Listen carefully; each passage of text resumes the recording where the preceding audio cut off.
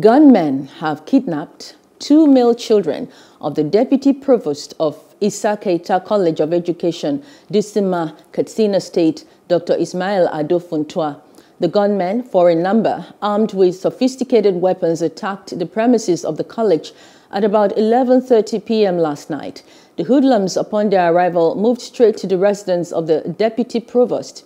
They tied the gatemen and proceeded to kidnap the children of the college's deputy provost along with his junior sister's son. The victims were identified as Usman, Aminu, and Abdullahi.